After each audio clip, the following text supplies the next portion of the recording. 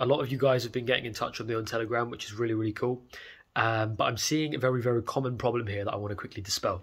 So, basically, at the start of this whole process, in TFM chapter 4, it talks about the reasons why you like PMOing.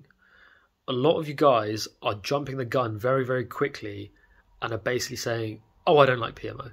I don't like PMO because of this reason, of that reason, of whatever. But it's happening too quick. What's happening, right? Is instead of addressing the reasons why you like PMO first and being honest and being shameless about it, what you're doing is you're trying to short circuit it and you're basically saying, Oh, I don't like PMO but you're just saying, "Oh, I don't like it because of the consequences or because of the shame that it gives me." And I thought this it would be really good to address this now. So, here's the deal, right?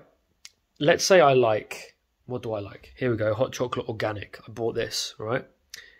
Let's say I'm drinking loads of this hot chocolate organic drink, right? I'm drinking it, I'm having a good time. In order for me to change my preference for it, it's no good me drinking it, liking the taste of it, and then trying to kind of short circuit the whole process, trying to be too quick about it and saying, oh, I don't like it because it uh, makes my breath smell bad. I don't like it because it gives me sugar. Now I don't like it. Why am I still doing it? I don't like it. Here's the deal you're not actually being honest with yourself to begin with and debunking the reasons why you want it on the front end. Do you see what I'm saying?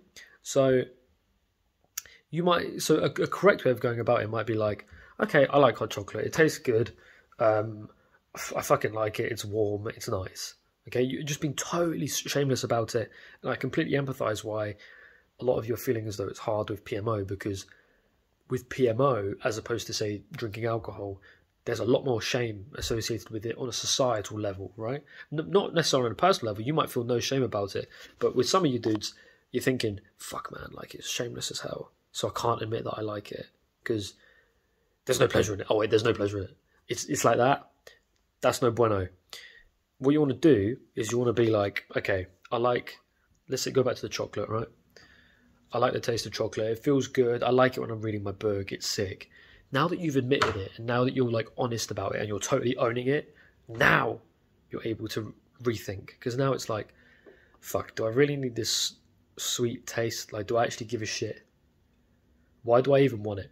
I wanted it because I thought I can like you know drink hot chocolate while I'm reading my book. But do I really need it for that reason? Could I could I instead drink hot water and drink and read my book? I'd still get the heat. I'd still get the heat. Do I really need that sweet taste? Could I feel better without that sweet taste and then knowing that my body isn't spiking its insulin unnecessarily and you know, and I don't have that smelly breath because of the, you know, I don't, I don't stain my teeth. Fuck, it could be better. It could be better.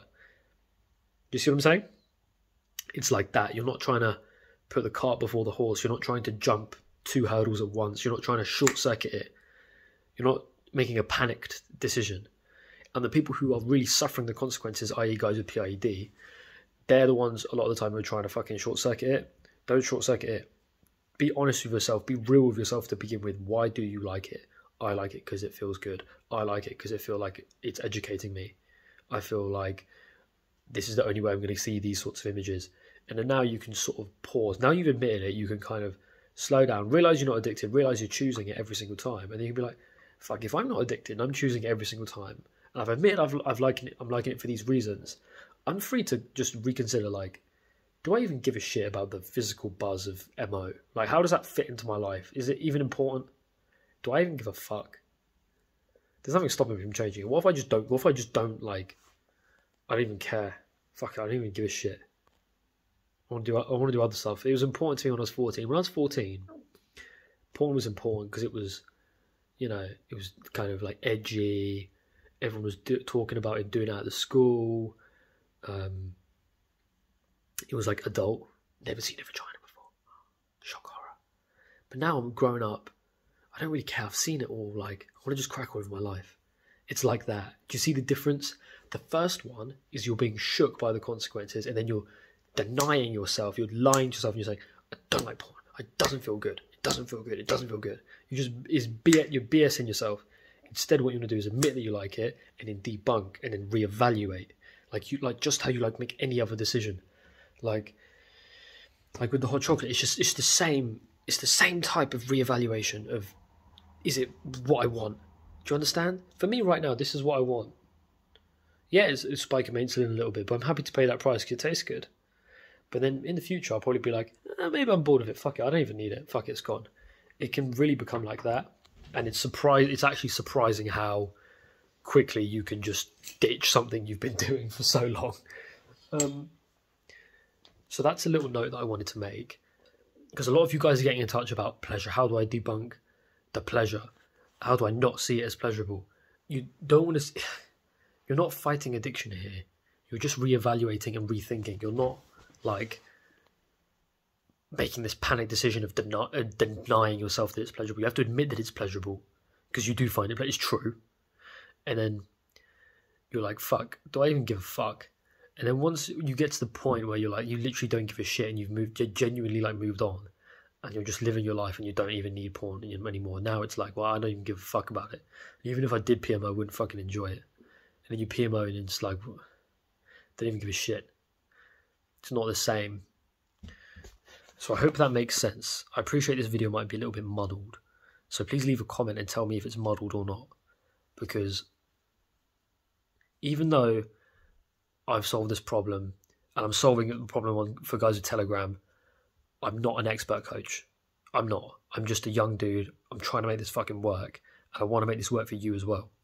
So if you comment, then I can get back to you and we I can try my fucking best to help you see what I'm talking about. You know, my communication skills need work. So just to recap, instead of making a panic decision based on costs and denying yourself and saying, I don't find it pleasurable, what you want to do is admit the truth, the absolute truth, even the most retarded reason in your head, like it educates me. It educates me. Now you've admitted it all, admitted it all, and you don't believe you're addicted. You're you're genuinely free to actually just rethink whether it's what you want now. Do you want, does that make sense? Let me please let me know in the comment. Let me know because I'll get back to you and we can fucking can really help you to get on your way here. So yeah, if you haven't read the Freedom Model, what, are you living under a fucking rock? I'm joking. But seriously, read it. It's linked in, in the below. It's free. It's you know this is how you do it. Forget everything that Hammers are saying. Forget anything that NoFap YouTubers are saying. Forget all that shit. It's all fucking bollocks. It's literally bullshit. All the neuroscientists forget what they're saying. It's not true. Um, your mind rules the brain. Your brain doesn't rule your mind. Your brain isn't pulling you like a puppet on a string. Because look, you have free will. Look, I can do anything. Look, free will. I can do anything I want. Look, I don't free will, right?